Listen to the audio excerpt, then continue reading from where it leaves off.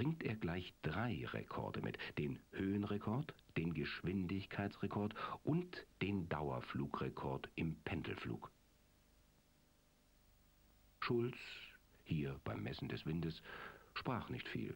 Er überraschte gern.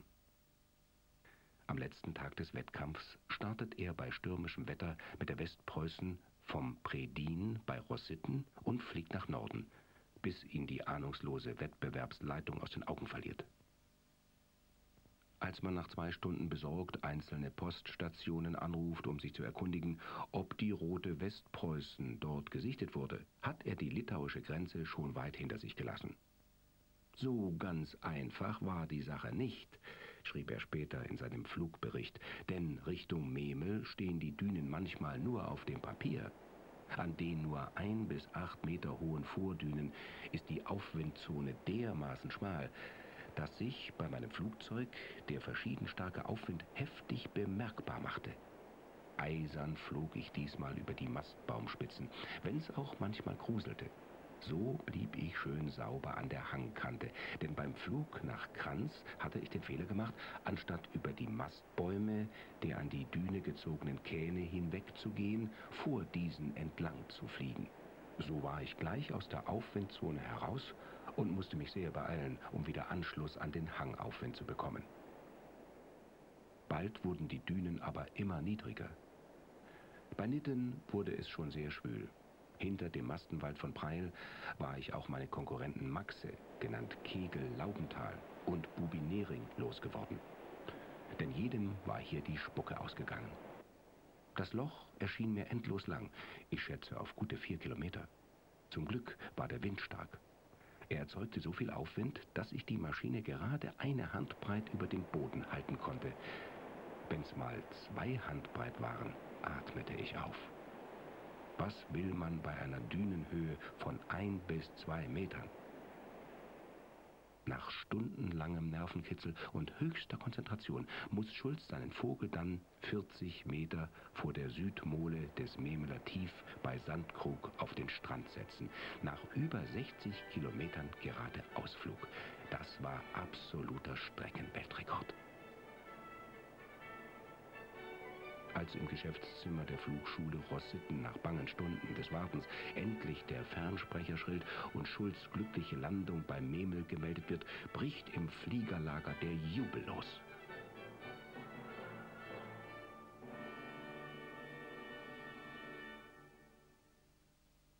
Im Oktober 1927 erzielte Schulz mit 550 Metern einen neuen Höhenrekord. Zu diesem Zeitpunkt hatte er sämtliche Segelflug-Weltrekorde inne, was bis heute nie wieder einem einzelnen Segelflieger gelungen ist. Ferdinand Schulz, der fliegende Lehrer aus Ostpreußen, war zum Idol der flugbegeisterten Jugend geworden. Einer dieser flug- und technikbegeisterten jungen Leute war Julius Hatri aus Mannheim, der spätere Konstrukteur des ersten Raketenflugzeuges der Welt. Er war schon als Schüler 1923 auf eigene Faust auf die Wasserkuppe gefahren, um den ehemaligen Weltkriegsfliegern bei ihren Segelflugexperimenten zuzusehen. Und äh, da war auch Udet, der hat gesehen, was ich da mache und dass ich da so eifrig mich betätigte und da fragte, na, willst du auch mal später fliegen? Und da habe ich spontan geantwortet, äh, ich will nicht später, ich möchte gleich fliegen. Und, äh, ich, und dann hat er so sich mit mir unterhalten und hat erfahren von meinen äh, Skierfolgen und dass ich also Skispringer bin und gewohnt bin, äh, in der Luft zu sein, dass mir das nicht fremd ist. Und daraufhin meinte er, man könnte es wagen und hat äh, den Inhaber der äh, Weltensegler GmbH, Herrn Steinmetz, äh, animiert und hat gesagt, lass doch mal den äh, jungen Mann einen kleinen Hupfler machen mit einem Hängekleider. Und das habe ich also absolviert und das ging sehr gut und hat mir, hat mir sehr gefallen. Das war 1923. Es sollte jedoch noch vier Jahre dauern, bis Julius Hatri, mittlerweile Maschinenbaustudent, schließlich zu einem Segelfluglehrgang nach Rossitten kam, wo er den ganzen Sommer blieb. Also Rossitten war zu äh, der Zeit 1927 schon sehr komplett. Es gab zwei große Flugzeughallen, die äh, sehr anständig aufgebaut waren und viel Platz auch hatten, äh, zumindest für den Flugzeugpark, der dort vorhanden war. Das war ja der war ja nicht zu zahlreich. Zwischen diesen beiden Hallen gab es eine, eine Montagehalle, wo die Werkstatt drin war. Es gab dort äh, festangestellte Schreiner und Schlosser, ein Schlosser. Und äh, im Gegensatz zu diesen technischen Bauten war äh, das Wohn und, äh, Wohnhaus und äh, Kantine relativ beengt. Wir haben äh, in äh, Schlafsälen auf äh, primitiven Strohsäcken, also zwar Bettgestellen, aber mit Strohsack war das nur als Unterlage, keine richtigen Matratzen äh, gemeinsam, ich weiß nicht mehr wie viel, aber auf jeden Fall äh, sechs, acht Leute in einem Saal jeweils. Und nur die Fluglehrer hatten ein Einzelzimmer. Es wurde früh aufgestanden in Rossitten, um möglichst schon, wenn sich das erste Lüftchen regte, auf der Düne zu sein. Und dann mussten wir ja die Flugzeuge oftmals von, Lag, von äh, den Hallen weg bis auf, auf die Düne äh, tragen. Da wurde unter das Flugzeug wurde zwei Querhölzer äh, gespannt, wo dann äh, links und rechts mehrere Männer äh, das trugen. Äh, zum Teil hat man es dann auch gezogen im Sand. Und es äh, war sehr komfortabel, wenn wir ab und zu mal ein Pferd hatten, das das Flugzeug ziehen konnte. Aber zum großen Teil haben wir die Flugzeuge selbst getragen äh, zum, zum Start und nach jedem äh, Flug musste man es ja wieder von unten auf die Düne rauftragen.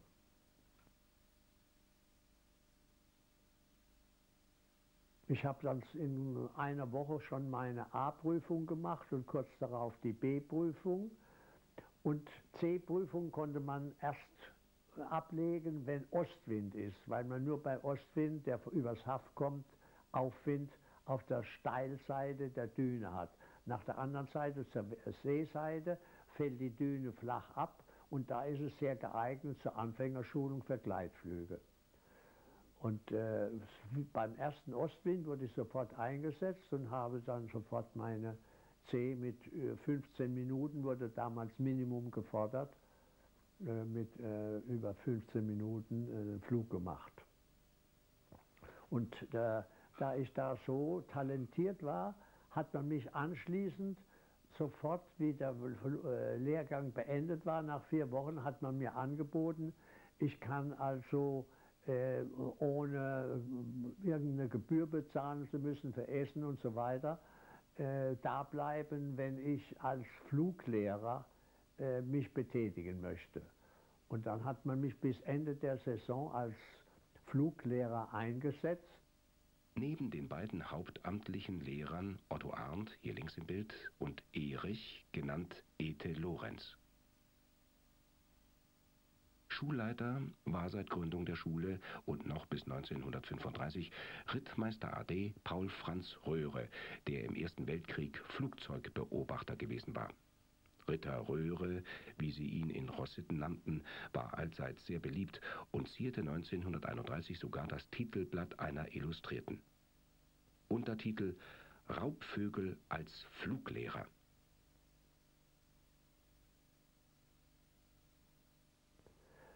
Nach Rossitten bin ich dann zurückgekommen äh, durch Ausschreibung eines äh, Wettbewerbs, der nannte sich äh, Preisfliegen Rossitten 1908 auf 29.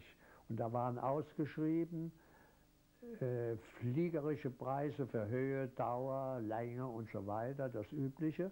Und außerdem ein technischer Wettbewerb man sollte ein Wassersegelflugzeug konstruieren, weil oftmals vorkam, dass bei Ostwind, wenn äh, ein Segelflieger aus Angst in Lehwind zu kommen, also zu, aus Angst zu weit zurückzukommen von der Düne, wo, man, wo dann ja Lehwirbel sind, die sehr gefährlich sind und eventuell tödliche Ur äh, Abstürze verursachen können, äh, sich zu weit hinaus wagt vor die Düne, dass er aus dem Aufwind herauskommt und dann kann er unter Umständen gar nicht mehr zurückfinden in den Aufwind und äh, musste im Wasser landen. Und zu, aus diesen Gründen war das war wohl die Ursache, dass man ein Wassersegelflugzeug konstruiert haben wollte. Und das habe ich äh, gemacht mit Erfolg und das wurde prämiert. Als ich nach äh, Sitten kam mit meinem Flugzeug, waren 40 Grad Kälte und ich flog auch bei dieser Kälte. Und äh, äh, da war alles zugefroren. Ich konnte also gar keine Anwasserung im Hafen machen. Ich hätte es an einer wasserfreien Stelle auf der Seeseite machen können.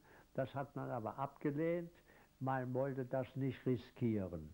Ich habe dann später, nachdem der Wettbewerb rum war und ich mein Flugzeug dann abholte, habe ich dann erstmals äh, äh, Landungen oder Anwasserungen machen können mit dem Flugzeug. Das war im Frühjahr 1929, dem Jahr, in dem Ferdinand Schulz verunglückte. Seit einiger Zeit war für die Deutschen auch der Motorflug wieder freigegeben worden. Natürlich war Schulz als einer der ersten mit dabei. Der in Marienburg gegründete Westpreußische Verein für Luftfahrt kaufte sofort eine Sportmaschine und Schulz wurde Chefpilot. Mit der knallroten Marienburg vollführte er gewagte Loopings und Kunstflugfiguren. Eine Sensation war es, als er bei einem Schaufliegen in Marienburg unter den beiden Nogat-Brücken hindurchflog. Bei einer lichten Höhe von circa acht Metern ein nicht ganz ungefährliches Unternehmen, zumal in der freien Luft zwischen den beiden Brücken die Maschine vertikal versetzt werden konnte. Heute steht nur noch eine der beiden Nogat-Brücken, die Eisenbahnbrücke. Von der südlichen Brücke sind nur noch die Pfeiler zu sehen geübt hatte Schulz für dieses Kunststück, indem er auf dem Elbinger Flugplatz durch einen leeren Hangar geflogen war. Ferdinand Schulz war allerdings kein bedenkenloser, tollkühner Wagehals, sondern war von tiefer Gläubigkeit erfüllt. Während seines Dienstes in Rossitten fuhr er jeden Sonntag mit dem Fahrrad über die sandige Nährungsstraße nach Kranz zum Gottesdienst. Jedoch nur zwei Jahre nach seinen Rekordflügen über der kurischen Nährung und seinen aufsehenerregenden Motorkunstflügen ereilte ihn das Schicksal seines Vorgängers und Vorbildes Otto Lilienthal. Am 16. Juni 1929 kreisten Schulz und Co-Pilot Bruno Kaiser über Stum, um anlässlich der Einweihung eines Denkmals zu Ehren der im Weltkrieg Gefallenen auf dem Bismarckplatz vorm Landratsamt der kleinen Kreisstadt einen Kranz abzuwerfen. Auf dem Platz des gefallenen Denkmals steht heute ein polnisches Denkmal aus kommunistischer Zeit mit der Aufschrift 1945.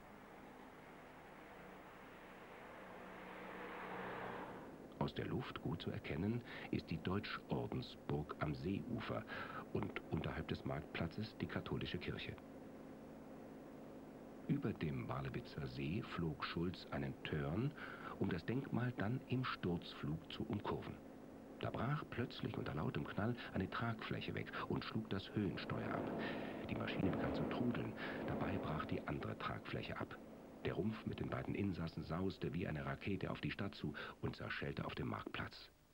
Zum Entsetzen der glücklicherweise auf der anderen Häuserseite versammelten etwa 1000 Einweihungsteilnehmer. Beide Insassen waren sofort tot. Genau an der Absturzstelle wurde später ein Gedenkstein für Ferdinand Schulz und seinen Fliegerkamerad Bruno Kaiser errichtet. Die Häuser im Hintergrund existieren nicht mehr. An der Stelle des Denkmals befindet sich heute eine Bushaltestelle.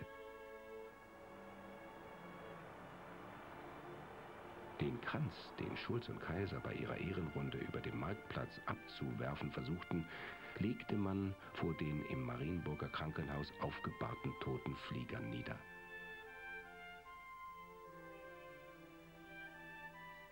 Nicht nur Ostpreußen nahm Anteil am Tod des erst 37-jährigen Fliegerpioniers.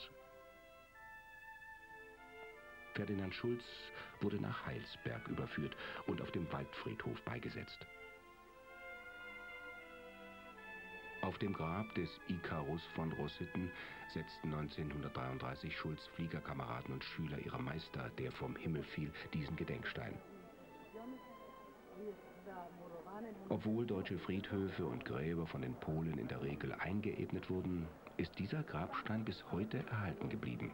Ein junges Mädchen, Hedwig Fischer, die am Ende des Krieges als Vollweise in Heilsberg zurückblieb, entdeckte es bei der Pflege des Grabes ihrer Mutter und pflegte es einfach mit, obwohl sie gar nicht wusste, wer dieser Landsmann mit dem Flugzeugrelief auf dem Grabstein war. Jadwiga Froschek, wie sie heute heißt, sorgte über all die Jahre der Nachkriegszeit dafür, dass der Grabliegeplatz immer wieder verlängert wurde und pflegt das Grab bis heute. Wir filmten es übrigens an Allerheiligen, einem der größten polnischen Feiertage. In Westdeutschland erinnert nur noch eine Ferdinand-Schulz-Allee beim Flugplatz in Oberschleißheim an den ostpreußischen Lilienthal.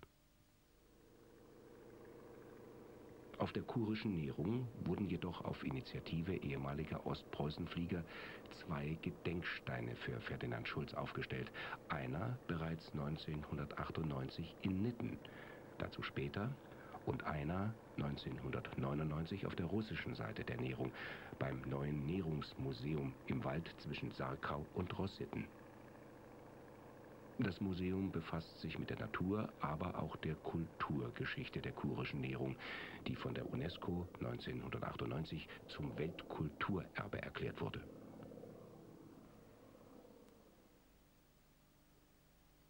Auch den Segelfliegern von damals ist in dem Museum eine Ecke gewidmet.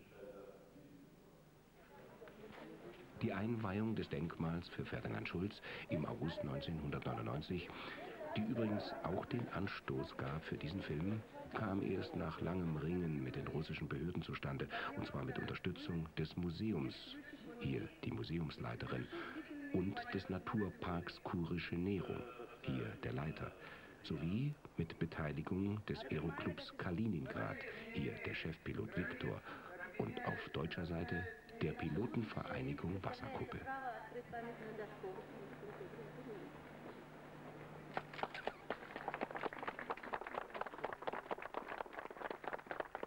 Der Stein erinnert insbesondere an Schulz berühmten ersten Dauerweltrekord, den er 1924 mit seiner Besenstielkiste über Rossitten aufstellte.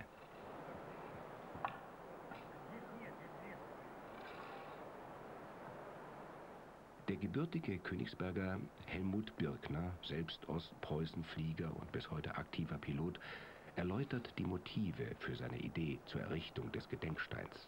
Ich bin ein Liegenthal-Fan und äh, Liegenthal hat damals gesagt, Fliegen ist völkerverbindend, grenzüberschreitend und völkerversöhnend. Und äh, Ferdinand Schulz hat das ja gemacht. Er ist ja als erster über eine politische Grenze geflogen. Die damals gerade neu gezogene Grenze, 23 äh, ist sie gezogen worden und zwei Jahre später ist er darüber weggeflogen bis zum Memelativ. Das Nährungsmuseum, an dem viele Touristen vorbeikommen, ist gewiss eine bessere Stelle für den Stein als der verlassene Platz der alten Segelflugschule selbst nördlich von Rossitten. Die Vogelwiese ist heute völlig zugewachsen und man muss den genauen Ort kennen, um noch die letzten Fundamentsteine auf der Lichtung im Nährungswald zu finden. Hier standen die Stützpfeiler der Ferdinand-Schulz-Halle. Die Erinnerungen der Ostpreußenflieger, die wir interviewen konnten, stammen überwiegend aus den 30er Jahren, als die Segelflugschule Rossitten bereits durch moderne Schul-, Wohn- und Technikgebäude erweitert und das Segelfliegen geradezu zum Breitensport geworden war.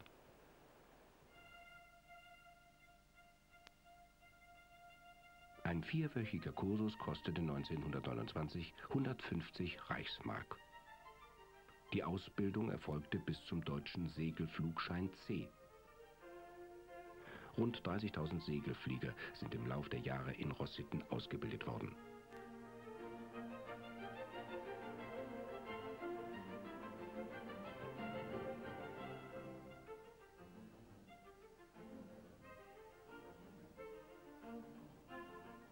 Die Schüler kamen aus dem ganzen Reich und auch aus dem Ausland. Der starke Zuspruch machte es sogar erforderlich, in Pilkoppen ein Außenlager mit weiteren Hallen für mehrere Schulflugzeuge zu bauen. Wie bekam man einen solch begehrten Lehrgangsplatz in Rossitten? Man konnte eigentlich selbst gar nicht so wählen. Ähm, man meldete sich und dann bekam man einfach eine, naja, möchte man sagen, eine Vorladung.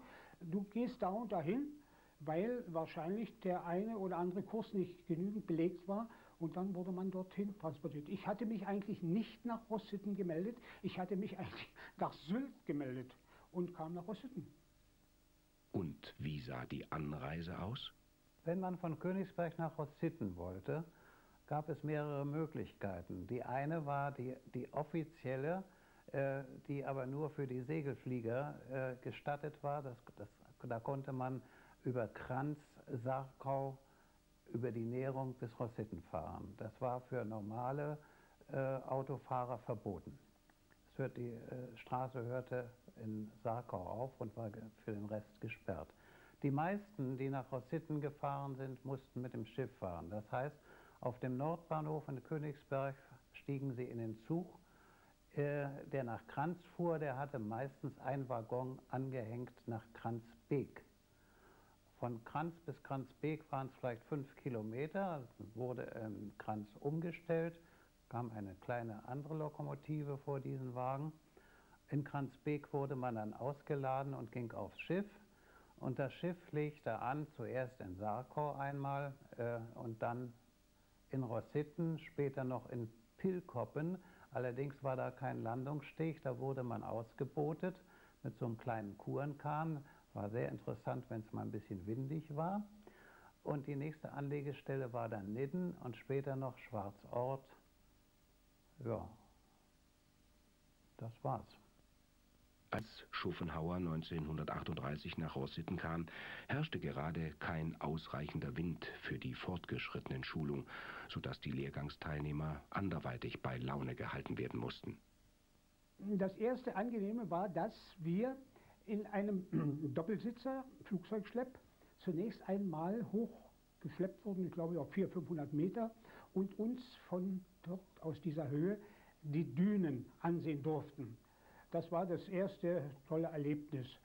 Ähm, das habe ich an keiner anderen Segelflugschule erlebt, aber Rossitten war dafür eben prädestiniert. Äh, ja, und dann begann eigentlich der Betrieb. Wichtig war zu sagen, dass der Sand uns natürlich zunächst einmal zu schaffen machte. Ähm, es war Sommer, es war August und so waren wir fast unbekleidet, aber in den Schuhen war immer wieder der Sand drin. Barfuß konnte man nicht laufen, das wäre unmöglich gewesen. Wenn man heute jemandem erzählt, dass man äh, vielleicht am Tage nur einen einzigen Start hat und muss den ganzen Tag über äh, äh für andere Leute nochmal das Fluggerät nach oben bringen.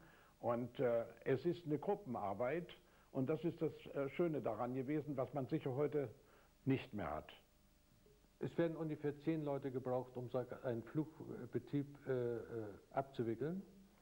Und ähm, bei den Dünen ist es ja so, wenn man die Flugzeuge raufschleppt, gehen ja äh, drei Schritte rauf und zwei wieder zurück. Nicht? Also es ist eine ziemlich mühselige Angelegenheit, ähm, die ähm, man heutzutage keinem Sträfling zumuten würde. Nicht? Also äh, was da an Arbeit und Arbeitsleistung äh, vollbracht wurde.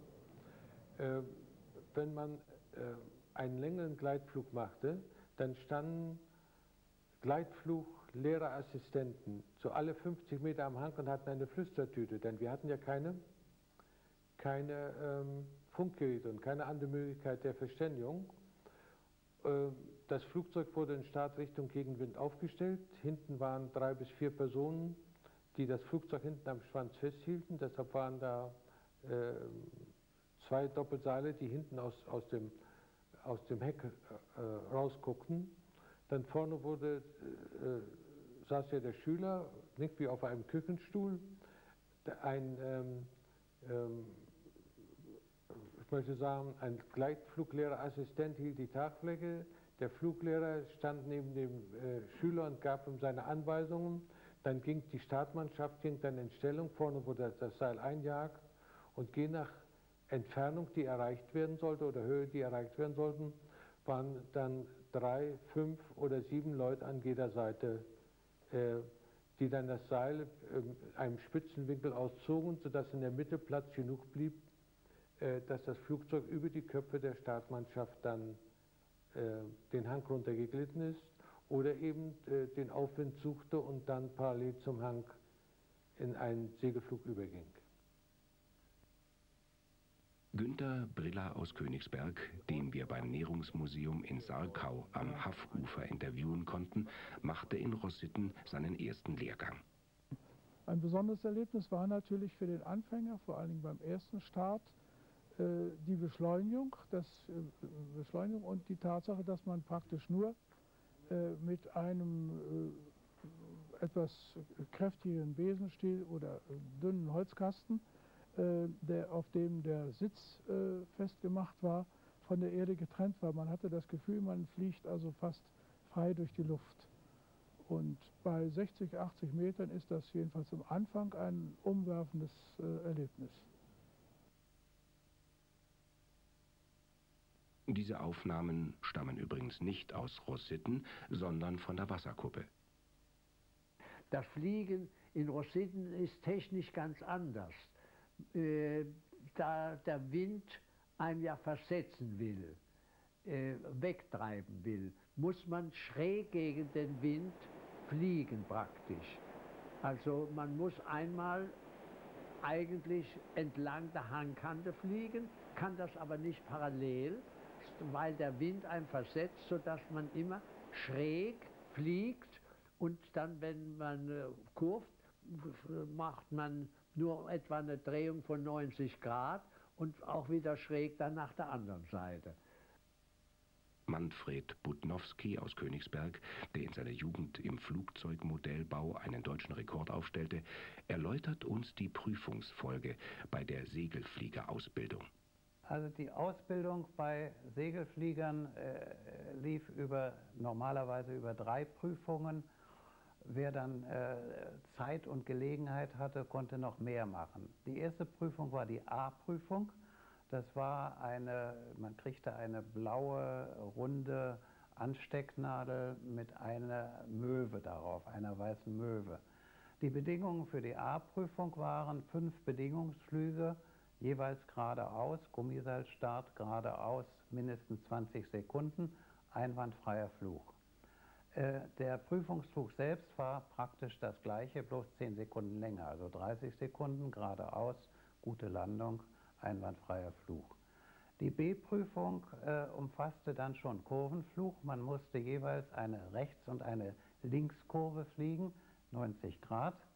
Äh, einwandfrei musste natürlich alles sein, also man durfte da nicht irgendwie äh, schief fliegen oder wackeln oder so und eine einwandfreie Landung war auch selbstverständlich. Bei der C-Prüfung, die wurde dann schon im Gunau-Baby durchgeführt, äh, da musste man Vollkreise fliegen, einen rechts und einen links. Und äh, ich weiß nicht genau, ich glaube zwei oder fünf Minuten Flugzeit haben, wobei jeder Flug über eine Minute zählte. Äh, Darüber hinaus gab es die sogenannte Silber-C. Das war was sehr Schönes. Da musste man einen Fünf-Stunden-Flug äh, äh, erledigen und einen Flug 50 Kilometer über Land. Äh, die Silber-C ist zu meiner Zeit von niemand geflogen worden, soweit mir bekannt ist, weil es verboten war, im Krieg mit Segelflugzeugen 50 Kilometer über Land zu gehen. Dazwischen, zwischen C und Silber C, gab es äh, den sogenannten äh, Luftfahrerschein für Segelflugzeugführer. Die Bedingungen äh, waren äh, zwei Flugstunden, äh, zusammengezählt aus allen Flügen über zwei Minuten. Äh, dann gab es die etwas erweiterte Form mit Flugzeugschlepp. Wir hatten damals in Rossitten ein sogenanntes Beuteflugzeug, das war eine Moran, äh, geflogen wurde, die von dem Fluglehrer Venor. Ich glaube, es waren mindestens fünf Flüge über jeweils fünf Minuten, äh, hinterm Motorflugzeug ausklinken und dann nach dem Ausklinken jeweils noch fünf Minuten fliegen. Hier sehen wir einen Siegerpokal mit eingearbeitetem Abzeichen der C-Prüfung, drei Möwen auf blauem Grund. Für die bestandene A-Prüfung gab es eine, für die B-Prüfung zwei Schwingen. All diese Abzeichen wurden ab 1931 weltweit übernommen und gelten auch heute noch. Es ging den jungen Leuten, die nach Rossitten kamen, aber nicht nur um die Prüfungen und die Leistungsabzeichen. Mitreißend war vor allem das Gemeinschaftserlebnis. Das war natürlich so, nicht wahr, dass ich äh, alles andere vergessen habe in dieser Zeit. Von Minute an ist man dabei und bewegt, bewegt sich dann im Kameradenkreis und hat so viele Aufgaben zu erfüllen, dass man alles andere vergisst. Aber nicht nur der überaus anstrengende Flugbetrieb nahm die jungen Segelflieger in Beschlag. Zwar war man abends nach der schweren Arbeit in Sonne und Wind so erledigt, dass man in der Regel nur noch wie tot ins Bett fiel. Doch nicht immer war das Wetter für eine Schulung von früh bis spät geeignet, so dass es auch neben der Ausbildung Gelegenheit gab zu gemeinschaftlichen Unternehmungen oder einem Ulk in den Dünen.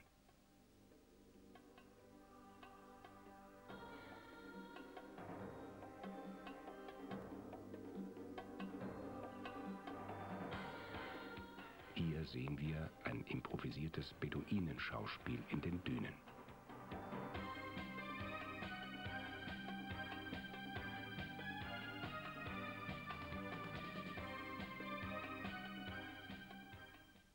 Also viel äh, Gemeinsamkeiten, Freizeitbeschäftigung oder so gab es nicht. Manchmal, wenn es nicht so hart war, sind wir an die See gegangen und haben mal ein Bad genommen. Im Haff habe ich komischerweise nicht gebadet. Ich weiß nicht warum. Auch die anderen äh, Segelflieger mieden das Haff zum Baden. In der See war es schöner.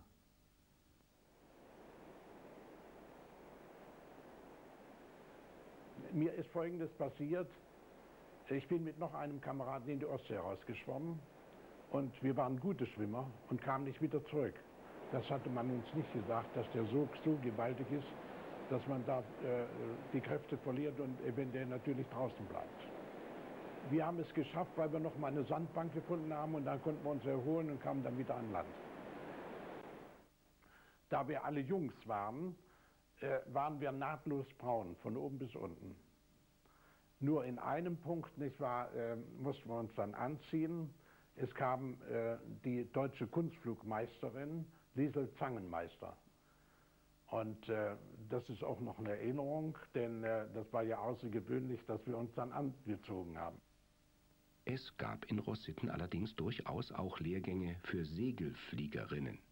Besagte Liesel Zangemeister, eine Königsberger Medizinstudentin, war eine dieser Amazonen der Lüfte, so der Untertitel dieses Fotos.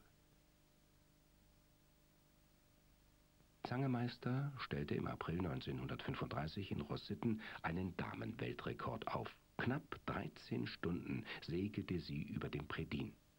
Vorher hatte Hanna Reitsch im August 1933 in Rossitten im Grunau Baby anlässlich von Filmaufnahmen einen 10 sowie einen 11,5 Stunden Rekordflug gemacht. Das Grunau Baby benannt nach dem bedeutenden Segelflugort Grunau im Riesengebirge in Schlesien, war damals in Deutschland das gebräuchlichste Übungsflugzeug und wurde in Rossitten für die C-Prüfung eingesetzt. Liesel Zangemeister, die übrigens noch im selben Jahr ihres Weltrekordes 1935 als Mitfliegerin bei einem Absturz ums Leben kam, flog ihren Rekord in der von ihr selbst verbesserten Schulmaschine Boro Ass, dem Boots Rossitten Ass, wobei Ass für Ausbildungssegelflugzeug steht. Was die Typen, die Segelflugzeugtypen angeht, äh, ist das älteste, das äh, ich noch geflogen habe, der Zögling gewesen. Äh, die Weiterentwicklung führte zum Schulgleiter 38, kurz SG 38, sah ähnlich aus wie der Zögling, hatte auch einen Spannturm. Der Rumpf war nur aus Latten zusammengebaut, also nicht verkleidet. Äh, wohl, wenn man mit dem Schulgleiter Windenschlepp machen äh, durfte, dann gab es das sogenannte Boot. Das war eine Verkleidung für den Piloten, damit er sich nicht so einsam fühlte, wenn er da 150 Meter über dem Boden äh, im Freien saß sozusagen. Das war das Boot. Rosittenast war eigentlich ein schöneres Flugzeug als der Schulgleiter und zeichnete sich dadurch aus, dass es erheblich empfindlicher war als der Schulgleiter. Äh, der Vorgänger vom Schulgleiter, dieser Zögling genannt Schädelspalter, war auch etwas empfindlicher. Der Schulgleiter war ein braves Flugzeug, da konnte man bald nichts falsch machen. Äh, mir ist noch in Erinnerung ein kleiner Unfall mit einem Zögling. Äh, der hatte bei der Landung, der hatte die Landung, wie wir Segelflieger sagten, in etwa drei Meter Höhe schon beendet. Äh, dann kippte er über, den linken, äh, über die linke Tragfläche ab und dann war der so ziemlich Totalbruch. Ja. Wir nannten übrigens diese Flieger, die schlecht äh, geflogen sind, Uhrmacher. Ich weiß nicht genau, ich habe mir damals keinen Gedanken darüber gemacht, aber vielleicht liegt es daran, dass der Uhrmacher ja mit der Lupe arbeitet und immer nur kleinste Teile sieht und der Segelflieger ja nur etwas mehr Weitblick haben muss. Vielleicht nannte man diese Bruchpiloten Uhrmacher deswegen, weil sie sich eben nur äh, beschränkt äh, die, oder die Sicht beschränkt hatten und nicht den Weitblick hatten. Unfall hat es mal gegeben und zwar mit mir. Ich war an der Startmannschaft, ich hatte bereits meine Prüfung und äh, dann äh, der, der fliegen sollte, der hatte den Flügel, und zwar war es hier der rechte Flügel, den hat er so weit hängen lassen, dass er in die Startmannschaft hineingerollt ist. Und ich war der Glückliche, der mit dem Flügel äh, äh über den Schädel geschlagen bekam. Ich habe jetzt die, noch eine sichtbare Narbe und eine Knochenverletzung am Auge, die davon herrührt. Und als ich dann nach Hause kam, mein, das erste war von meiner Mutter, du gehst nicht mehr zum Segelfliegen. Oh, das war das Schlimmste, die Wunde. Ich war ganz verbunden, mein, mein Rücken war voller Blut, ja, also das Hemd. Im Krieg erlebte Heinz Butschkau als Lastensegler noch so manche gefährliche Situation, doch ernsthafte Blessuren erhielt er erst in der russischen Gefangenschaft. Viele ehemalige Rossittener wurden später zu Lastenseglern ausgebildet, aber das ist schon ein anderer Film. Ja, äh, ein besonderes Erlebnis aus dieser Zeit äh, ist die Begegnung mit einer Elchmutter und Elch Kalb gewesen. Ich habe meinen Start äh, durchgeführt und plötzlich stand vor mir in etwa äh, ja, 30 Meter Entfernung eine Elchkuh mitsamt Kalb und wir haben uns wohl gegenseitig erschreckt, äh, uns angestarrt äh, und für mich das war das vielleicht beklemmender als für die Elchkuh, weil ich äh, ja die Anweisung hatte, meinen Schulleiter nicht zu verlassen. Ähm, bevor die Haltemannschaft für das Flugzeug dann wieder am, an der Maschine war. Und so ist nichts passiert, außer, außer dass wir uns äh, beäugt haben und äh, die Elchkuh dann nachher mit dem Kalb davon trollte. Äh, Orsitten war einmalig schön. Wir haben die Kursionierung erlebt. Wir haben in Rositten im, im, äh, in einem Lokal getanzt. Da waren nette Mädchen da die uns dann mit der Kutsche wieder zurückbrachten zum Lager. Unterwegs sah man dann auch die Elche. Es war wunderschön in Rossitten und ein einmaliges Erlebnis. Wir verlassen nun Rossitten. Der Predinberg nördlich von Rossitten ist nur der Beginn einer langen Dünenkette, die sich mit Unterbrechung in Pilkoppen bis nach Nidden zieht. Bei Pilkoppen hatte die Segelflugschule Rossitten daher noch ein Außenlager. Die Sturzdünen bei Pilkoppen waren weniger gut für die Anfängerschulung geeignet, dafür umso besser für das Erfliegen der B- und der C-Prüfung. Das Fliegerlager in Pilkoppen wurde daher auch PCB-Fa genannt, Pilkoppener C- und B-Fabrik. Dort herrschte noch urwüchsiges Lagerleben. Kurt Matte hat im Rahmen eines Lehrganges in Rossitten in der PCB-FA seine C geflogen. Und dann kam der begehrte Ostwind, der das Haff anbläst. Und wir fuhren äh, mit einem Fuhrwerk nach Pilkoppen. Zwei Babys wurden von den Fluglehrern rübergeflogen und dann ging es auf den Hang. Und der, der Wind, der blies derartig, dass der, der Sand, sagen wir mal, einem ins Gesicht peitschte. Wir brauchten nur eine halbe Seillänge. Die Verlängerungsseile haben wir gar nicht gebraucht. Und wir setzten uns rein, der Fluglehrer gab uns die Anweisung, der, der Hang verläuft etwas muldenförmig und dann mit halber Seillänge kamen wir über die Kante, sagen wir mal, und dann ging es hinauf wie im Fahrstuhl.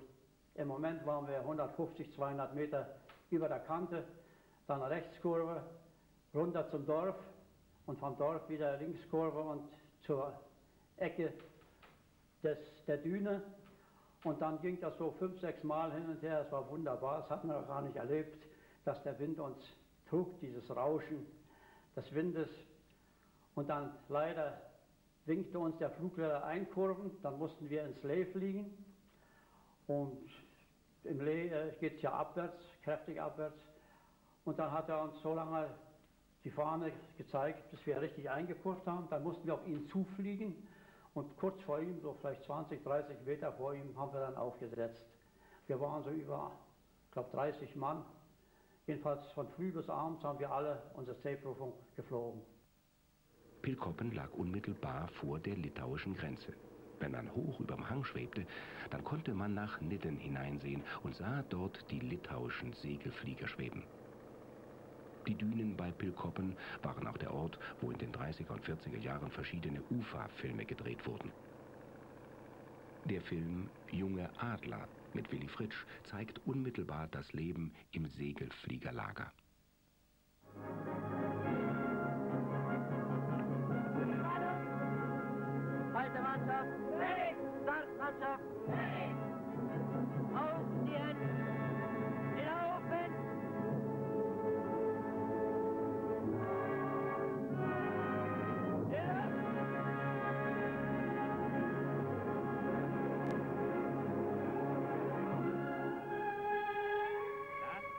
Du, Bord? Der Uhrmacher, der hat den linken Flügel hängen lassen.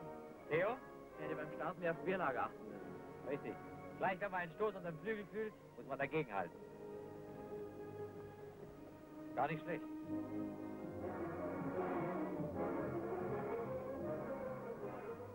Für Quacks in Afrika mit Heinz Rühmann wurden noch 1944 ganze Palmenhaine in den Dünensand gesteckt.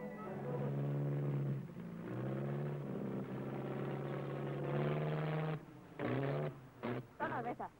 Der Stab ist tatsächlich durch. Ah, meine Erziehung.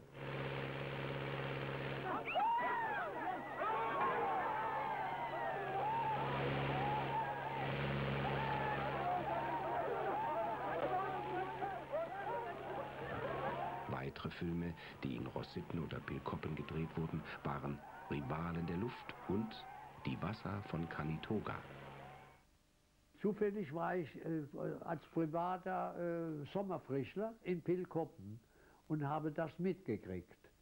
Äh, Wasser für Conitoga.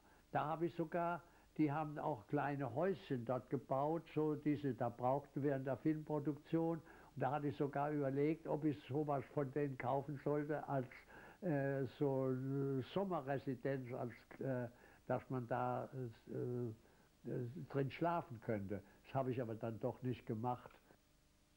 Willi Poschmann, der letzte Leiter der Segelflugschule Rossitten, ein gebürtiger Ostpreuße, hatte 1938 bei den Aufnahmen zu dem UFA-Film Frauen für Golden Hill die Aufgabe, mit dem Propeller eines festgebundenen Flugzeugs Wind für einen Sandsturm zu erzeugen. Der Abenteuerfilm spielte im Goldgräbermilieu Australiens.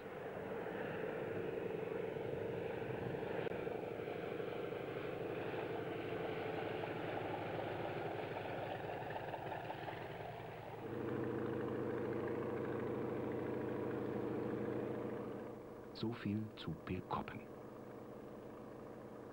Auch bei Sarkau schließlich, wo die Nährung mit 400 Metern ihre schmalste Stelle hat, gab es kleine Dünen, von denen geflogen wurde, sogar bei Westwind, was in Rossitten etwas problematisch war. Zwei im Sommer meist leerstehende Gebäude der Dünenverwaltung konnten für die Unterbringung von bis zu 50 Flugschülern benutzt werden. Bevor wir auf die kurische Nährung zurückkehren, wollen wir noch die wichtigsten Segelflugplätze und Schulen im übrigen Ostpreußen vorstellen. Willenberg an der Nogat haben wir schon genannt. Weitere bedeutende Plätze waren Korschenruh, 25 Kilometer südwestlich von Königsberg, Palmnicken und die Bernsteinküste im Samland, sowie Sensburg und Drachenberge im Landesinneren. Auch in Königsberg selbst, genauer gesagt in Nesselbeck und Neuhausen wurde geflogen. Die Tilsiter hatten mit Weinoten eine Segelflugübungsstelle direkt vor der Tür, wie überhaupt mit Aufkommen des Windenschlepps und des Thermikflugs Ende der 20er Jahre praktisch in jedem größeren Ort Segelfliegergruppen entstanden waren. In Allenstein, Elbing, Lötzen und so weiter. Den Plätzen der Memeler Flieger auf dem nördlichen Teil der kurischen Nährung wollen wir uns am Schluss zuwenden. In Korschenruh am frischen Haff flog man bereits seit 1925. Auf der Suche nach einem leichter als Rossitten erreichbaren Fluggelände entdeckte der Königsberger Segelflieger Erich Christan, wie Ferdinand Schulz ein Mann der ersten Stunde und selber Konstrukteur von Segelflugzeugen, die mehrere Kilometer lange Steilküste des frischen Haffs bei Brandenburg. Hier gab es bei den vorherrschenden West- und Südwestwinden ausgezeichnete Segelflugmöglichkeiten. Für die Anfängerschulung, die in Korschenruh zunächst bis zum A- und zur B-Prüfung geführt hatte, war das Gelände allerdings nicht ganz ideal. Oft gingen die Schulflugzeuge zu Bruch oder mussten im Haff landen. In Korschenruh flog unter anderem eine Studentengruppe der Universität Königsberg mit ihren Flugzeugen und ein Student der Albertina vom Hochschulinstitut für Leibesübungen war es auch, der Korschenruh durch einen Weltrekord im Dauerflug über Nacht berühmt machte. Kurt Schmidt, den wir hier rechts im Bild beim Wiederfinden einer verloren gegangenen Schere sehen. Im August 1933 gelang es Kurt Schmidt in Korschenruh im Einsitzer eineinhalb Tage in der Luft zu bleiben, genau gesagt 36 Stunden und 36 Minuten. Der bereits erwähnte Willi Poschmann, hier links neben Kurt Schmidt beim Betrachten von Fotos, war damals Leiter der 1931 neu gegründeten Segelfluggruppe Korschenruh und beobachtete den Rekordflug von Kurt Schmidt vom Boden aus. Ja, und dann, als er dort an die Kurve kam, wo er sich ja etwas länger aufhielt, bei dem Ende, da rief ihn an, Hallo Kurt, gratuliere, falsch gesagt. Da habe ich gesagt, Prominenz, sieh zu, dass Sie noch eine glatte Landung macht. Prominenz ist uns, die erwarten dich. Dann wackelt er mit den Flügeln, das heißt, ich habe verstanden und dann holt er ganz weit hinten auf und landet an derselben Stelle, wo ich startet war.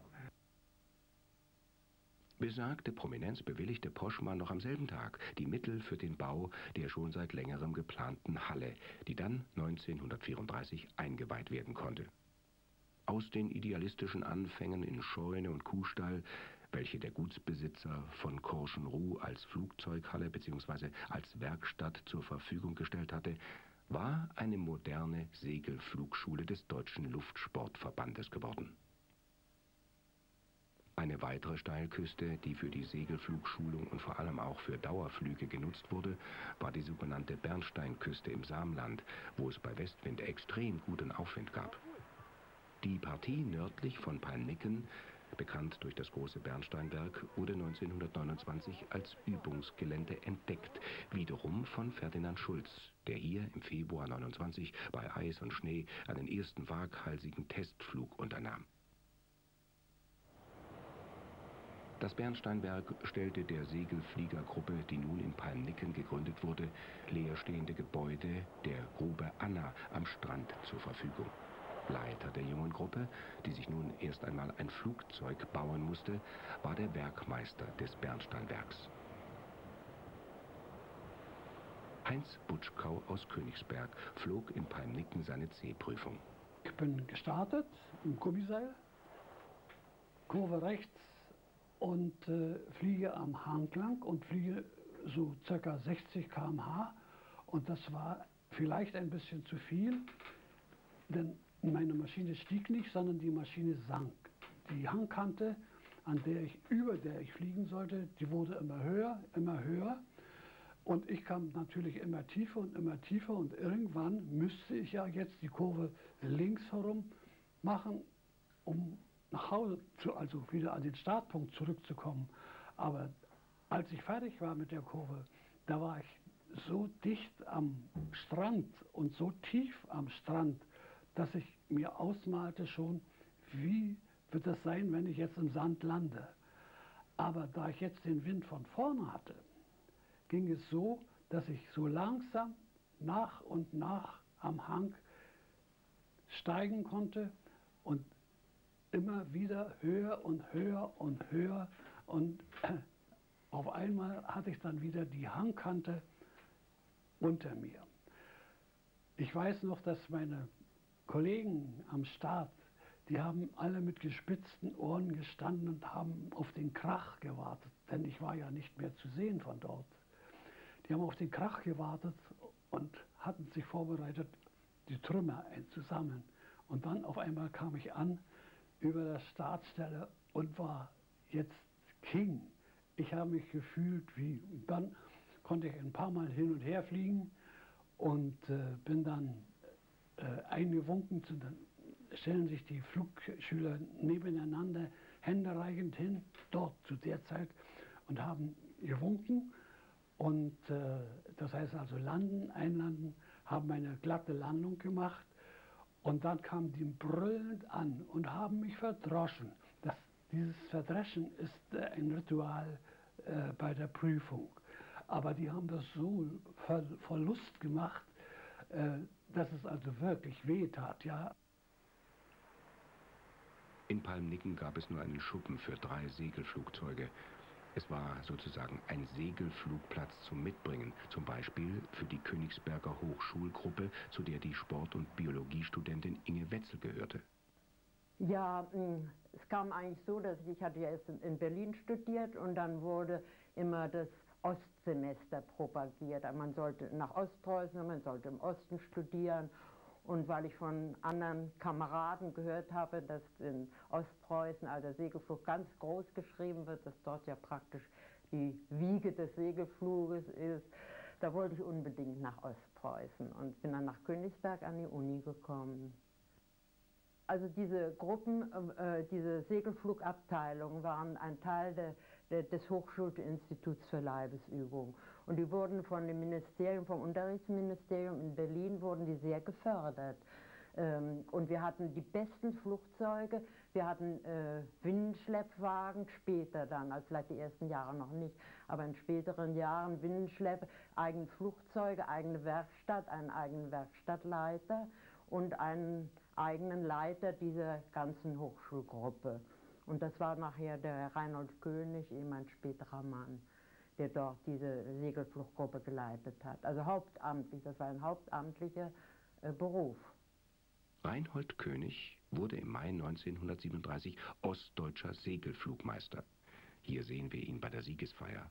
Seine Freundin Inge Wetzel kam einen Monat später, im Juni 1937 in Pannicken, zu noch größerem Ruhm irgendwie haben wir mal gedacht, jetzt müssen wir eigentlich mal was machen, wir müssen doch mal was zeigen. Was liegt jetzt an, was, was bringt jetzt mal was? Und da hieß, ah, jetzt so lange kein Frauenrekord mehr geflogen, jetzt wollen wir das doch mal machen. Und da ich die Einzige war, die eigentlich dafür in Frage kam, so die anderen Kameraden, waren halt noch nicht so weit. Da habe ich gesagt, ja, ja, das mache ich nicht, eigentlich ohne viel zu überlegen. Und dann ging das alles ruckzuck. Ich hatte ja gesagt, und dann war der Wind da und dann musste ich ja auch mehr oder weniger. Dann sind wir halt rausgefahren nach Pönnigen, die ganze Vorbereitung, das war schon etwas aufwendig. Und äh, dann wurde es natürlich Abend, da sagen wir, naja, also warum nicht, man kann ja auch die Nacht durchfliegen. Und das war natürlich vielleicht das größte Erlebnis, was die heutigen Supersegelflieger, die die Riesenstrecken fliegen und so, aber mal die ganze Nacht durch oben in der Luft zu sein, das ist schon ein Erlebnis. Am Meer sah man die Brandungswellen, die dann ja auch hell leuchten. Und äh, es wurde ja niemals so richtig dunkel. Außerdem haben die Kameraden dann so Feuerle angezündet unten am Strand. Das war die Steilküste, dann kommt ja gleich der Strand, haben sie Feuer angezündet, an, so, wo, wo sie dachten, da könnte man gute Wendemarken machen. Und dann war es eigentlich ganz spannend und war schon ein großes Erlebnis. Nur gegen Morgen, da wurde es dann schlimm, wenn die, die, die Dämmerung kam, da wurde so schrecklich langweilig. und dann kam aber noch ein Freund mit einem anderen Flugzeug und der hat mich dann noch ein Stückchen begleitet, aber dann wurde der Wind immer schwächer und immer schwächer und äh, naja, da musste ich mir dann doch entschließen zu landen. Vorher hatte man mir allerdings schon hochgerufen mit Megafon, also der Rekord ist überboten. Und da dachte ich, naja, dann kann ich auch mal wieder landen. ja, da, da kam alles angeströmt. Die meisten waren ja oben am Hang, die mussten ja erst mal runter marschieren, an den Strand runter, nicht? Aber hm, ein Freund, der schon geahnt hat, dass sie nicht landet, der kam als erster anmarschiert. Na, wurde ich groß begrüßt und so und dann kam halt, halt die Presse und dann kam der, der Direktor vom Hochschulinstitut, hat sich inzwischen auch schon eingefunden, es hat sich dann schon rumgesprochen, dass da jetzt was passiert. Und er kam dann auch noch und dann kam die Presse, naja, wie es dann so üblich ist, dann wurde es mal erzählt und gratuliert und so weiter. Inge Wetzel hatte mit 18,5 Stunden den Damenweltrekord im Dauerflug aufgestellt und damit den bereits erwähnten Rekord von Liesel Zangemeister, geflogen in Rossitten 1935, überboten. Ja, ich war schon eigentlich stolz darauf, dass ich es geschafft hatte. Und äh, na, ich war schon ziemlich müde. Ich habe mir erst mal schlafen gelegt, aber schlafen konnte ich nicht, weil ich noch so aufgeregt war. Mit der Bernsteinküste verbunden ist noch ein anderer sensationeller Dauerrekord. Bei Brüster Ort brachte es Ernst Jachtmann im September 1943 fertig, ganze 55 Stunden und 51 Minuten allein im Einsitzer seine Bahnen zu ziehen. Also zwei volle Tage und Nächte plus acht Stunden. Wir hatten das Glück, dass wir da äh, Yachtmann begleiten durften, um ihn ein bisschen abzulenken, damit er nicht einschläft auf der langen Tour. Äh, wir hatten das Grunau-Baby da und sind mal über ihm, mal unter ihm geflogen und haben ihm was zugerufen. Erst 1952 erhöhte der Franzose Charles Adger auf den bis heute gültigen Weltrekord von 56 Stunden und 15 Minuten. Seither sind Dauerflüge dieser Art als zu unverantwortlich aus den Wettbewerbsdisziplinen verbannt. Der Ruf, die Heimat des Dauersegelflugs zu sein, kann Ostpreußen nicht mehr streitig gemacht werden. Nur noch einer der vielen seinerzeit von Ostpreußen oder in Ostpreußen geflogenen Rekorde soll hier erwähnt werden. In Rossitten flogen im Dezember 1938 August Bödecker und Karl-Heinz Zander den Dauersegelflug-Weltrekord für Doppelsitzer. Zwei volle Tage und Nächte, verpackt in dicke Winterkombinationen, die fast jegliche Bewegung ausschlossen, hintereinander eingepfercht in die Enge eines unbeheizten Sperrholzflugzeuges, flogen Bödecker und Zander in eisiger Kälte zwischen Rossitten und Pilkoppen hin und her, her und hin, bei Nacht nach den spärlichen Feuern Ausschau haltend, die die Strecke entlang der Dünen kennzeichneten. Eine bemerkenswerte physische Leistung, für die die beiden unter anderem mit mancher durchzechten Nacht trainiert hatten.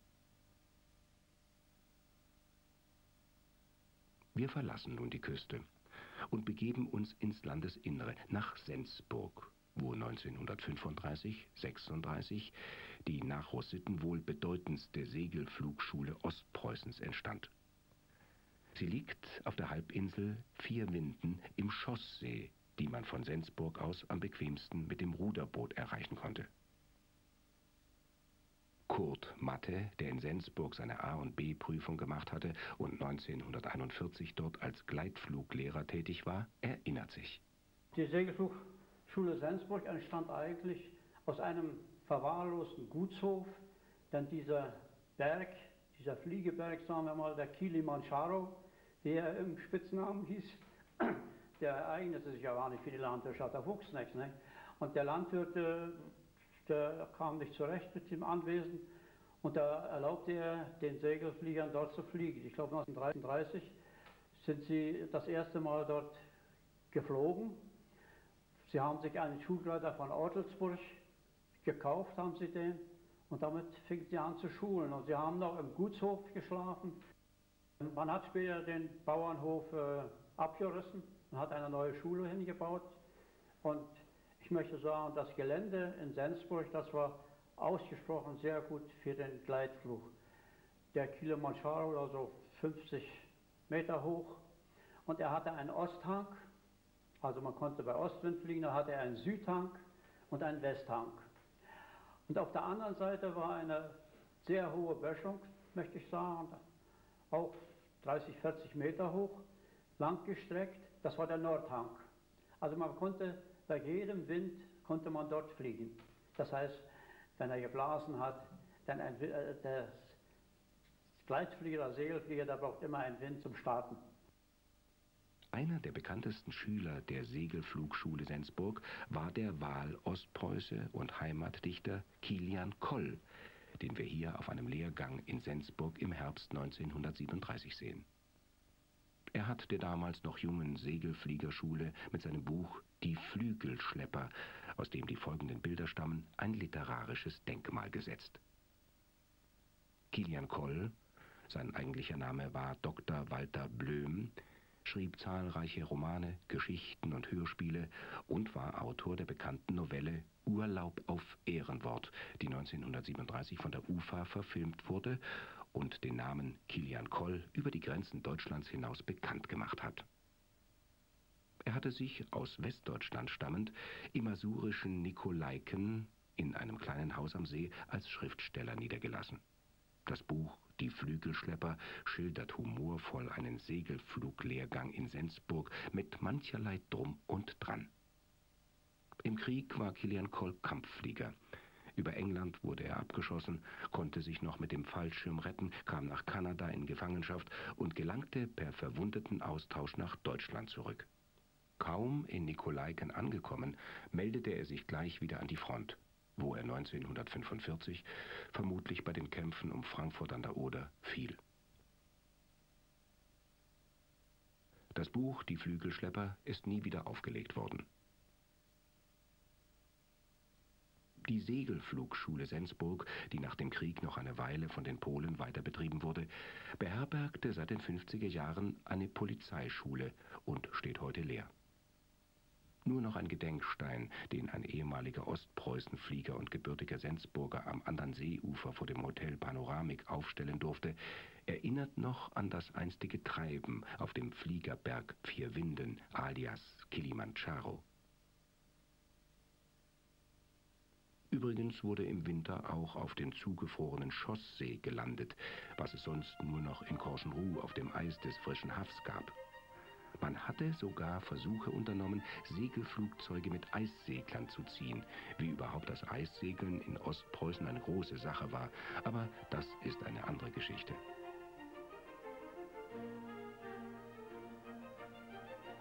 Zuletzt waren 36 ostpreußische Segelfluggelände bekannt, die wir hier nicht alle aufzählen können. Nur eine der bekannteren Schulen soll noch erwähnt werden, Drachenberge bei Angerab. Von Insterburg kommend ist schon von weitem durch die Bäume der Chaussee nach Angerab der Höhenzug zu erkennen, den zunächst Königsberger Segelflieger 1938 zu ihrem Revier erkoren. Mit dem Kucklinsberg erreicht diese für die Endmoränenlandschaft der norddeutschen Tiefebene typische Hügelkette eine Höhe von 166 Metern. Die Schule, von der heute nichts mehr übrig ist, lag in der Nähe des Gutes Drachenberge, unmittelbar an der Chaussee beim Abzweig nach Nemmersdorf. 1938 entstand hier ein modernes Schulgebäude mit großem Speiseraum, Schulungs- und Schlafräumen und einer Flugzeughalle. Die Insterburger, die nach Drachenberge zur Wochenendschulung kamen, brauchten nur 17 Kilometer zu fahren. Und auch von Gumbinnen aus war die Schule praktisch mit dem Fahrrad zu erreichen. Beide Städte sind vom Bergkamm aus in der Ferne auszumachen. Nach Angerab im Süden, wo es den nächsten Bahnhof gab, sind es acht Kilometer. Eine Strecke, die die mit dem Zug angereisten Schüler damals zu Fuß marschierten. Diese sehr moderne Segelflugschule firmierte offiziell als Segelfliegerlager Drachenberge der Gruppe 1 Ostland des NS-Fliegerkorps. Mit dem 1937 gegründeten Nationalsozialistischen Fliegerkorps NSFK war der Segelflug zum wahren Volkssport geworden. Bereits Mitte 1933 hatte man die unzähligen Fliegergruppen und Vereine, die es gab, in dem neu gegründeten Deutschen Luftsportverband DLV gleichgeschaltet. Der traditionsreiche Ostpreußische Verein für Luftfahrt wurde zur Luftsport-Landesgruppe des DLV. Der DLV ging dann seinerseits 1937 im NSFK auf in dem vom Modellflug bis zum Motorflug alle Sparten des Fliegens organisiert waren. Das NSFK, hier sehen wir die ehemalige Hauptstelle des NSFK in Königsberg an der General-Litzmann-Straße, Ecke Beethovenstraße, unterstand allerdings nicht der Parteileitung in München, sondern dem Luftfahrtministerium. Das Korps stand also der Luftwaffe sehr viel näher als der Partei. Der Gleit- und Segelflug die billigste Möglichkeit des Fliegens wurde nun staatlich gefördert, was natürlich auch der Heranbildung von Flugzeugführern für die Luftwaffe diente. Wobei allerdings umstritten ist, ob die Vorbildung eines Segelfliegers überhaupt die Ausbildungszeit für Motorflieger verkürzte.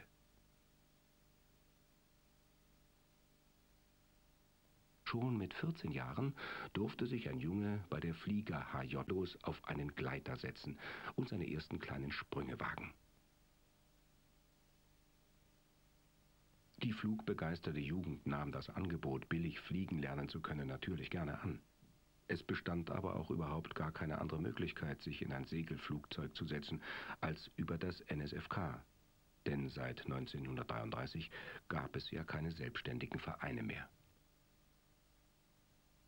Die Rhön-Rossitten-Gesellschaft war aus finanziellen Gründen bereits 1931, sieben Jahre nach ihrer Gründung, aufgelöst worden. Diese Farbdias stammen übrigens aus dem Jahre 1942 von einem Gebietswettkampf der Flieger HJ in Rossitten. Die Vogelwiese diente beim Flugzeugschlepp als Start- und Landebahn. Für die, wie es nun hieß, Reichssegelflugschule Rossitten, hier sehen wir das 1938 gebaute neue Schulgebäude bei der Preisverleihung 1942, hatte die Unterstellung unter das Luftfahrtministerium im Jahre 1936 aber noch eine andere, unmittelbar militärische Bedeutung. Die Schule lag ja mit ihrer Außenstelle in Bilkoppen dicht an der Grenze zu dem 1923 von Litauen annektierten Teil Ostpreußens nördlich der Memel, dem sogenannten Memelland, über das die Litauer seit 1926 das Kriegsrecht verhängt hatten und das es zurück ins Reich zu holen galt. Billy Poschmann, dem 1936 zwei Monate vor der Unterstellung der Segelflugschule unter das Luftfahrtministerium die Leitung der Schule übertragen worden war, erläuterte uns die Hintergründe. Aber das war dann schon wieder die militärische Seite, die die Aufrüstung hier im Geheimen vornahm und hier schon die Schulrositten, die eigentlich bloß so eine Holzhüttensammlung war, äh, mit massiven Gebäuden mhm. als Stützpunkt, Grenzstützpunkt, von dem aus die Grenze sehr schnell erreicht werden konnte. Mhm. Aber es lief unter dem Namen Reichssegelflugschule. Das war die äußere Täuschung, mhm. aber die innere Täuschung war, ich von da ab, der, äh, unterstand ich nicht mehr dem, dem, dem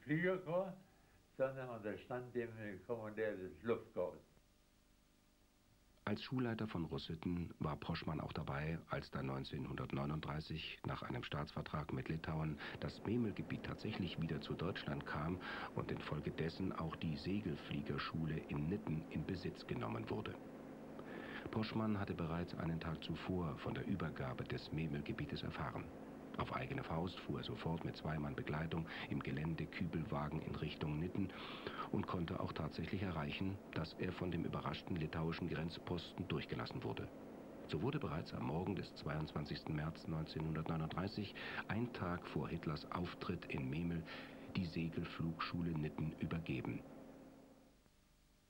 Nach einem opulenten Frühstück auf der Terrasse des Künstlergasthofs Blode, wozu der Hausherr einlud, fuhren Poschmann und seine Begleiter weiter nach Schwarzort, wo sie stürmisch empfangen wurden, und schließlich nach Memel, wo der Leiter der deutschen Segelfliegergruppe Bruno Rumpelt schon auf sie wartete.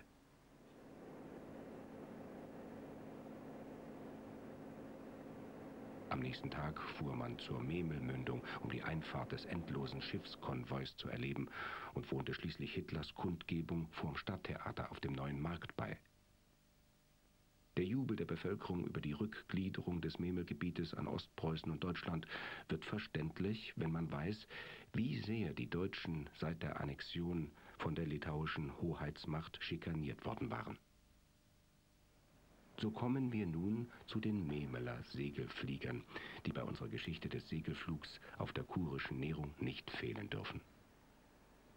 Die Segelfliegerei begann in Memel im Jahre 1931, als ein Ingenieur namens Alfred Kubillus im Schaufenster einer Buchhandlung den Bauplan eines Gleitflugzeuges Typ Zögling entdeckte. Mit dem Buchhändler, dem bereits erwähnten Bruno Rumpelt und anderen Flugbegeisterten wurde daraufhin der MSV, der Memeler Segelfliegerverein, gegründet. In einem ehemaligen Pferdestall wurde mit primitivsten Mitteln die Bauskizze umgesetzt und noch im selben Jahr konnte der erste selbstgebaute Schulgleiter des MSV getauft werden auf den Namen Memel vom Oberbürgermeister höchstpersönlich. Zum Einfliegen der Maschine auf dem Gelände einer Memeler Ziegelei holte die Gruppe einen Heidekruger Flugschüler aus Rossitten herbei, da man selbst keine praktische Erfahrung mit dem Segelfliegen hatte. Durch mehrmaligen Bruch sammelte man mühsam seine Erfahrungen. Der Verein wuchs und schon bald wurden weitere Segelflugzeuge in der Werkstatt auf Stapel gelegt. Auf den flachen Hügeln des alten Memeler Flugplatzes in Rumpischken den der Verein benutzen durfte, ließ sich jedoch fliegerisch nicht viel erreichen. Ein geeigneteres Fluggelände mit Hangaufwind musste also gefunden werden. Und man kam dabei, wie sollte es anders sein, auf die Sanddünen der kurischen Nährung. Zu Pfingsten 1932 wurde der Schulgleiter per Dampfer übers Haff nach Schwarzort transportiert. Der Name dieses idyllischen Nährungsdorfes deutet auf den dunklen, urwüchsigen Hochwald, den man hier auch heute noch findet. Auf den Dünen südlich von Schwarzort wurde das Gleitflugzeug zusammengebaut und man begann mit der Schulung. Der Flugbetrieb in Schwarzort stellte sich aber nicht als günstig heraus. Es fehlte vor allem eine Unterstellmöglichkeit für das Fluggerät. Nidden kam auch nicht in Frage, denn dort war ja von Litauen aus bereits eine Segelflugschule eingerichtet. Schließlich wurde dem Verein die Forstbaracke in Perwelk zur Verfügung gestellt. Perwelk, das kleinste und einsamste der Nährungsdörfer, liegt in einem großen Dünenkessel genau zwischen Schwarzort und Nitten auf der Palve. So nennt man auf der Nährung das zwischen Seedüne und Haffdüne gelegene Gelände. Der bereits baufällige Schuppen wurde nach und nach tadellos ausgebaut. Heute sucht man diese Unterkunft der Memeler Segelflieger vergeblich. Nur Fundamentsteine markieren noch den Ort. Anfangs diente die Forstbaracke auch zum Unterstellen des Flugzeugs, das zu diesem Zweck abgerüstet und am nächsten Morgen nach dem mühseligen Transport auf die Düne wieder aufgerüstet wurde. Hier eine Aufnahme aus diesen frühen Jahren in Perwelk. Damals fuhren die Mitglieder im Sommer an jedem Wochenende noch mit dem Fahrrad über die Nährung nach Perwelk. Insgesamt ein enormer Aufwand, den die eingeschworene Gruppe für ein paar Übungssprünge in den Dünen trieb. Doch nichts konnte die Begeisterung bremsen. Später dann bekam der Memeler Segelfliegerverein ein eigenes Motorboot, Falke, mit dem am Sonnabendmittag mit Geschwistern und Freunden und großem Hallo von Memel nach Perwelk und Sonntagabend wieder zurückgefahren wurde. Auch von der anderen Seite des Hafs kamen manchmal einige Fliegerfreunde aus Heidekrug mit einem Motorboot herüber. In Perwelk konnte man nun auch mit Hilfe von Spenden Memeler Firmen eine Halle für die mittlerweile drei Segelflugzeuge direkt am Dünenrand bauen. Das war 1936. Die Segelflugausbildung erfolgte autodidaktisch.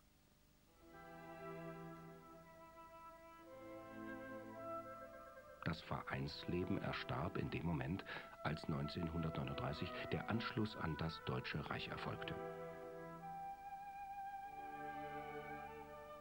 In den letzten Märztagen 39 fuhr die Memeler Segelfliegergruppe noch ein letztes Mal mit dem vereinseigenen Motorboot zur Nährung. Diesmal nach Nitten, wo die ehemals litauische Segelflugschule nun als Übungsstelle des NSFK Königsberg in Gebrauch genommen wurde. Die Mitglieder des MSV erhielten nun eine richtige Segelflugausbildung und verloren sich bald aus den Augen. Perwelk spielte als Segelflugstelle keine Rolle mehr, denn die hohe Düne bei Nitten bot ungleich bessere Flugbedingungen.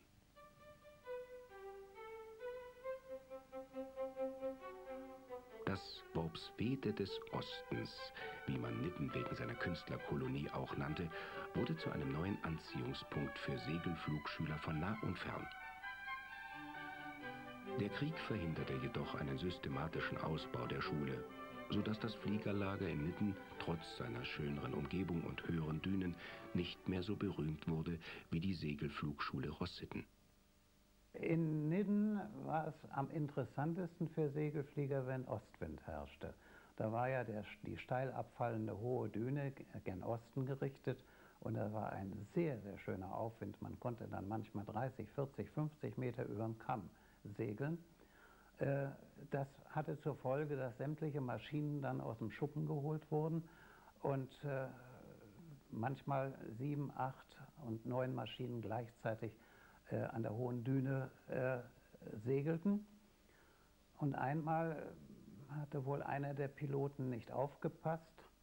Jedenfalls an der Wende nahm er die zu kurz und stieß dann mit dem nachfolgenden Flugzeug, das zufällig auf gleicher Höhe war, zusammen. Das gab einen fürchterlichen Krach und es flogen auch die Fetzen von Flügeln runter, aber die beiden hatten ein derartiges Glück, äh, das, die eine Maschine hatte höchstens einen Meter von dem Flügelende verloren und war noch steuerbar und landete ganz normal. Die andere musste sich schon etwas anstrengen. Sie war auch noch steuerbar und landete, allerdings äh, ein bisschen hart. Den Piloten ist nichts passiert, aber wir waren böse, weil zwei Maschinen ausfielen. Diese Aufnahme zeigt die Segelflugschule Nitten noch zu litauischer Zeit, 1938. Gut zu erkennen ist der Trampelpfad zur Hohen Düne. Die Vordüne ist heute dicht bewaldet. 1998 wurden auf Initiative alter Ostpreußenflieger der bereits erwähnte erste Gedenkstein für Ferdinand Schulz auf der kurischen Näherung in Nitten auf dem Gelände der ehemaligen Segelfliegerschule errichtet. Dort haben die Litauer zur Erinnerung an die Schule symbolisch einen Stützpfeiler aufgestellt, der den ehemaligen Hangar andeuten soll, sowie einen Gedenkstein mit der Inschrift in den Jahren 1933 bis 1939 wirkte an dieser Stelle eine Segelflugschule des litauischen Aeroclubs. Den Gedenkstein der deutschen Spenderinitiative, der wegen Ferdinand Schulz grenzüberschreitendem Rekordstreckenflug 1927 von Rossitten nach Memel gerade hier an der heute litauisch-russischen Grenze seinen Platz finden sollte, hat man allerdings ein wenig im Wald versteckt.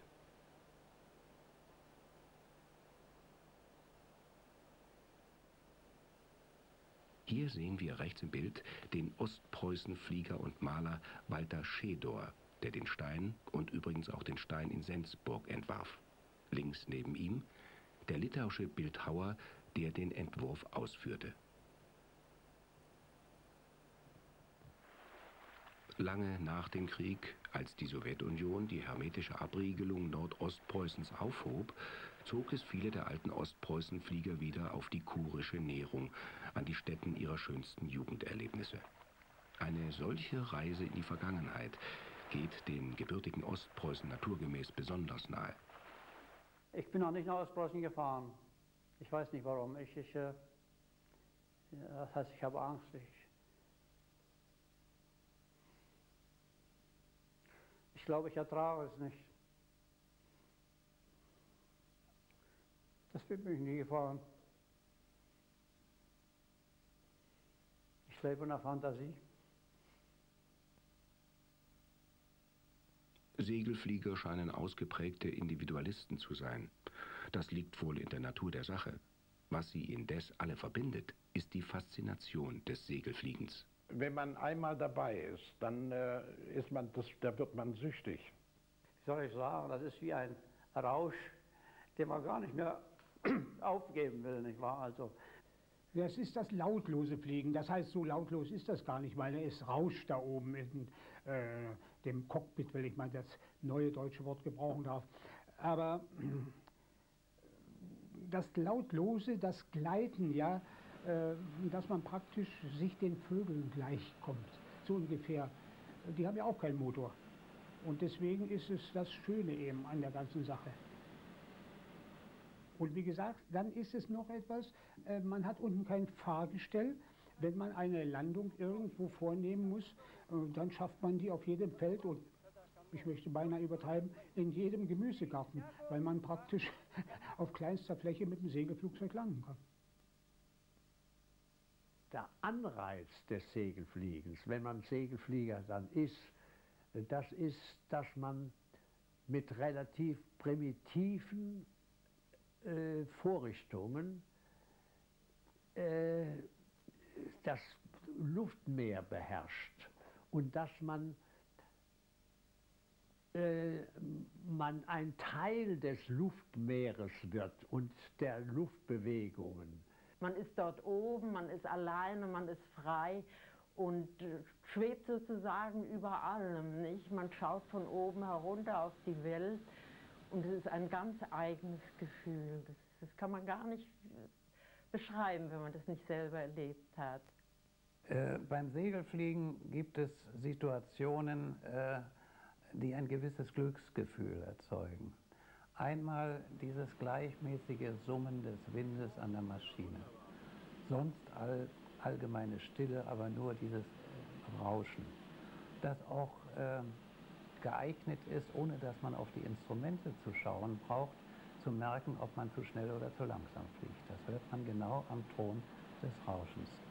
Und zum anderen eben, wenn man mal Thermik kriegt, dieses plötzlich, wie wir so schön sagten, unterm Hintern geht es dann hoch. Das ist auch ein einmaliges Gefühl. Manchmal so, wie wenn man im Aufzug sitzt und dann nach oben fährt. Und äh, dann merkt man, dass man im Aufwind liegt, also einen Bacht erwischt hat, wie der Segelflieger sagt. Und dann kann man kurbeln, das heißt Vollkreise fliegen und mit jedem Kreis einige Meter höher steigen. Ein wunderschönes Gefühl. Wir mussten früher, wie die reine Hangfliegerei war, mussten wir bei starkem Wind, um möglichst Höhe zu haben vom Hang aus. Und dass man da die Maschine wieder heil runterbrachte, das war das Erlebnis. Und äh, das formt auch den Menschen, auch die Gefahr, die die Fliegerei mit sich bringt, trotz aller Vorsicht. Und äh, man äh, lebt vorsichtig dann auch, die Gewissenhaftigkeit gehört dazu. Und dann muss ich auch sagen, ohne Überheblichkeit, es äh, formt den Menschen, man ärgert sich oder regt sich nicht über Kleinigkeiten im Alltag auf. Das ist das besondere Erlebnis, was man hat. Das ganz besondere Erlebnis des lautlosen Fliegens im offenen Schulgleiter über den Dünen der kurischen Nährung hat seit damals keiner mehr erlebt und wird wohl auch keiner mehr erleben. Denn das Fliegen in den Dünen ist heute aus Naturschutzgründen unangebracht. Es wäre aber auch überhaupt nicht sinnvoll, in Rossitten den Segelflug wieder zu beleben, da die Zeit der Gleitflüge und der Hangschulung, für die sich die Wanderdünen so gut eigneten, ja längst vorbei ist. Doch für den Thermikflug ist Ostpreußen natürlich nach wie vor ein ideales Revier. Und im litauischen Teil Ostpreußens wird dieser faszinierende Sport ja auch weiterhin betrieben. Sogar im russischen Teil gibt es neuerdings zaghafte Ansätze für die Gründung einer Segelfliegergruppe. Was bleibt als historisches Resümee? Ostpreußen, das im öffentlichen Bewusstsein allenfalls noch als ehemalige Kornkammer Deutschlands präsent ist und schon damals im Westen häufig mit schwerblütigem Bauerntum assoziiert wurde, war in Wahrheit häufig seiner Zeit voraus. In Wissenschaft und Philosophie, Wirtschaft und Handel und eben auch im Sport.